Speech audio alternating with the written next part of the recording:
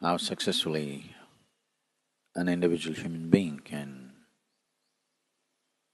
perform a certain action essentially means uh, to what extent uh, your body takes instructions from you, to what extent your thought and emotion cooperates with you,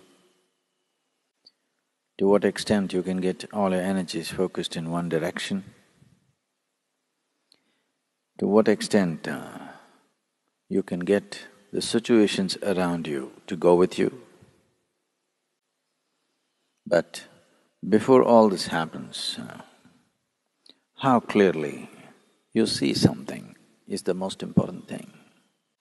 If you can't see clearly, but your action is great in the wrong direction, then very successfully we will fail.